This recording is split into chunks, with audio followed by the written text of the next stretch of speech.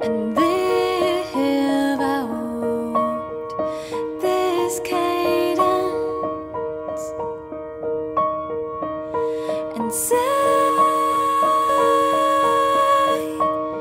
Amen. And say